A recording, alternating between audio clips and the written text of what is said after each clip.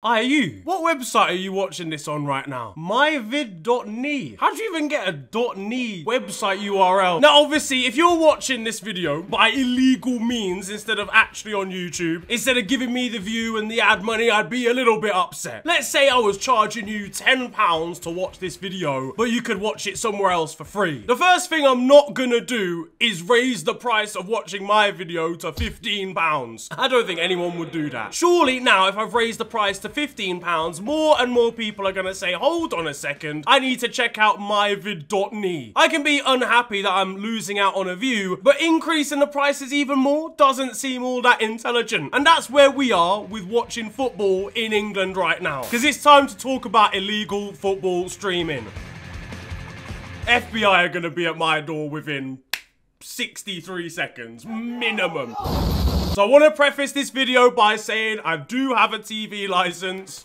And the only thing being used without permission in this household is my anterior cruciate ligament. The doctor said I shouldn't be walking anywhere. But a lot of people across the country are going to be having concerns after a recent crackdown where the Premier League and lawmakers around copyright in the country and in terms of sport too are wanting to send people to jail just for watching illegal streams in their own homes, not even distributing them. Under this new warning, if a person is found to be, you know, illegally streaming a game in their home, they can end up with a 12 12 month prison sentence or in more serious cases up to five years in jail. Allegedly. Now got it here, prior to the 2024-25 season, the Federation Against Copyright Theft, which is FACT UK, confirmed that it would be clamping down on those planning to use fire sticks to illegally stream football and other sports. This obviously isn't just a problem in, in football, but across the entire spectrum of sporting activity. And if someone is using a jailbroken fire stick, they're infringing copyright by viewing content without paying the appropriate license license fee, apparently. Maybe one extra fact that FACT UK may want to focus on is the price that we have to pay to actually watch football these days. We'll get into the pricing and stuff in a second, yeah, but some innocent people, myself included, may not own a, jailbroken Fire Stick, alright? For the interest of the legal system, I have a Sky subscription or a Now TV subscription, yeah? I don't own a jailbroken Fire Stick. I'm old, in it. Jailbreaking to me means that I've got a next version of Fruit Ninja that has grapefruits in it as well. But what I would say is, I would understand people that do. Ah, yeah, what you in here for, boss? Yeah, listen, you know Newport County, yeah? Eight years in prison for streaming Huddersfield Town versus Derby County, and Phil Schofield gets a TV show on an island. Are you taking a piss? That has nothing to do with me. Recently, two brothers who were distributing, I guess, copyrighted content or distributing Premier League games to be watched on streaming services were sentenced to a combined 11 years in prison. That was back in August after a previous crackdown on IPTV or whatever it is services. Meanwhile, a man in Greece was sentenced to eight years in prison on his own for a slightly more serious case. For what it's worth, if I got sent to prison for watching Ipswich versus Leicester on my laptop, I would probably kill myself. I'm not gonna lie. People are gonna be attempting prison break, trying to get out of jail after watching Bristol City versus QPR on Total Sportek at 3 p.m. on a Saturday. Best believe you'll have to keep an eye out when an unmarked black car drives past your window as you press on the Hansa Rostock versus Kaiserslautern. It's already bad enough being a Manchester United fan, watching a game getting 7-0 peppered at home by Liverpool, without then the risk of getting put behind bars afterwards. Actually, to be honest, it's probably better for them to just be in jail rather than watch the games. Get me arrested! Open the door, open the door, let's go. TV companies should be paying me for having to listen to Michael Owen and Steve McManaman on TNT Sports. When they don't score, they hardly ever win. Not the other way round. This is ludicrous. My hard-earned cash, my wage, for someone to tell me that if you keep a clean sheet, you're unlikely to lose. That should be the punishment, I've just realized. Forget about financial compensation, going to jail. If you are illegally streaming a football match and you get caught, Michael Owen has to go round to your house and audio describe the next game to you. No one's doing it after that, I'll tell you that for free. And speaking of pundits, Rio Ferdinand will at least be impressed when he sees one fan have four streams open at the same time during the final game week of the Champions League group stages. Ballon d'Or, Ballon d'Or.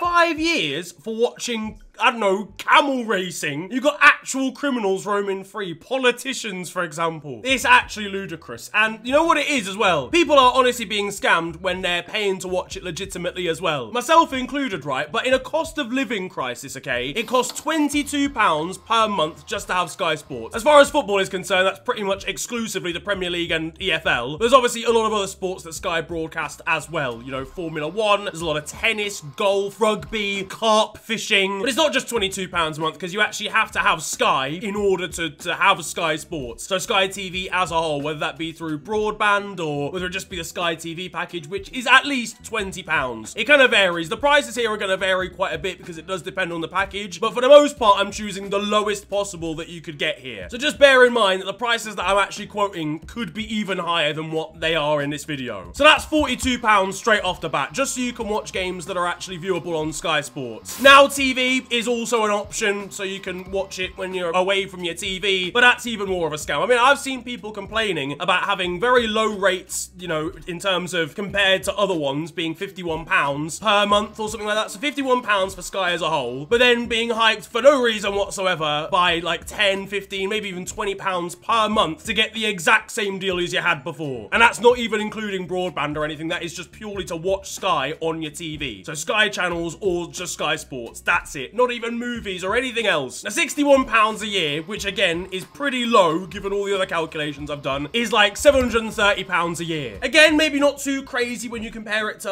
other bills that you could have to pay during a year, like rent or your electricity or your heating bills or whatever. But that is just for Sky Sports. Again, it doesn't necessarily include other actual Sky channels. It doesn't include a movies package. And not only is that like just one element of Sky viewing, it's also not great value for money anyway. Sky Sports only shows Saturday Night Football, Super Sunday, and Monday Night Football. So realistically, on average, you're paying all of that for three or four at best games in a week. Not necessarily an actual full week. I mean, a game, a match week of, of football. They don't own the rights to the Champions League. They don't ever have the early kickoff on a Saturday. And obviously nobody has the rights to 3 p.m. kickoff games on a Saturday because of the 3 p.m. blackout, which is yet another issue. And I understand the premise behind the, the 3 p.m. blackout. The idea is because you don't want fans to be able to watch every single game possible because they then won't turn up to games. They won't go and watch a game in person. But for me, I think that's just, I think that's a cop out, to be honest with you. You go to a game for a very different reason than you watch a game. If you want to watch a game with your friends at the pub, that's completely different to actually going and having a day out and going and watching a match yourself. I don't know many people that would go, actually, I can't be asked to go and watch the game today because I could just watch it in front of my TV. They're very different experiences that you don't just settle, like you don't settle on watching a game when you've got yourself hyped up to go into a match for the entire week. It's just stupid. And not only that, we're the only country in the world where you can't watch English games at 3 p.m. You can watch 3 p.m. kickoffs in America, in Canada, probably in Venezuela if you really wanted to, but you can't watch them here. Like, it's actually insane. That's another reason why fans feel like they have to illegally stream games. Because if for whatever reason they can't go to a game, if they don't happen to live in the same city as the club that they support, or they're busy doing something else, that's it. They can't watch the game. They have no means of watching the game until match of the day at 11 p.m. Now, that wasn't a problem back in the day when people used to be fine to do that because the prices of actually watching the games wasn't so high in the first place. You didn't have to pay a grand a year just to be able to watch three games on Sky Sports Live. Objectively, it's not good value for money. You're paying all of that just to miss out on all of the 3 p.m. kickoffs. If you support a team in the bottom half of the Premier League, you might genuinely get broadcasted live on Sky Sports seven times a year. Between seven and 10. That's not worth the amount of money that you'd be paying. It just simply isn't. And not only that, that is just Sky Sports. We won't talk about Amazon Prime or Prime Video too much because they don't show that many games. I think it's like four games a year. And also the price of Amazon Prime isn't that crazy. It's only $8.99 a month. Plus, there's other reasons why you'd have Prime. But TNT Sports, for example, is purely subscription based so that you can watch it on the TV. That is an extra £25 a month just to get the early kickoff for the Premier League and then the Champions League and European stuff too. Obviously, I think they've got French rights as well, like Ligue 1. But generally speaking, as an English football fan, all right, you have to have an entire Sky package that can fluctuate all over the gaff dependent on what they fancy charging you for the year. And then also TNT Sports on top of that as well. To still only get to see about half of the matches that actually happen in the Premier League during a game game week. And look, I'm not telling people to go out and illegally stream matches. That would obviously be stupid. But what I am highlighting really more than anything is that it just simply isn't good value for money. This is more just a plea to the TV channels to actually make things more accessible to the to the Premier League, to make actually watching games more affordable. They probably lose millions a year based on the amount of people that are watching games for free illegally online. They wouldn't lose as much money on that grander scale if they dropped the prices of TV subscriptions just a little bit. Because if Sky Sports and TNT Sports were just a little bit more affordable and a little bit more accessible without needing to apply a crazy amount of extras just to be able to put about seven channels on your TV, nowhere near as many people would feel the need to do this, to seek out games for free and illegally stream. Because the illegal streaming has its own problems as well. You cannot go more than six minutes without one crash